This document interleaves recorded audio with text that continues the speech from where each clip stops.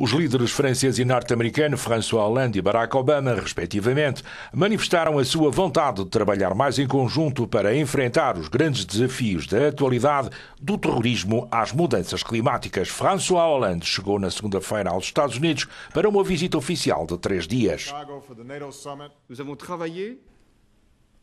Empenhamos-nos na cooperação e na luta contra o terrorismo. Pretendemos, igualmente, respeitar determinados princípios.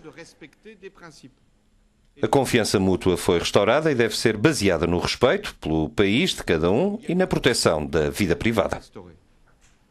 Et qui doit être fondée à la fois sur le respect de chacun de nos pays et également sur la protection de la vie privée.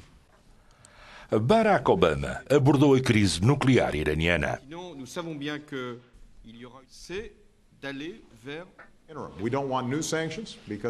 Não queremos novas sanções, porque as que estão em vigor já trouxeram o Irão para a mesa das negociações. Também lhes queremos enviar a mensagem de que, se o problema do programa nuclear não for resolvido, haverá consequências. E as sanções não só continuarão em vigor, como poderão ser agravadas caso as negociações falhem. Uh, will likely be tightened uh, in the event that these talks fail.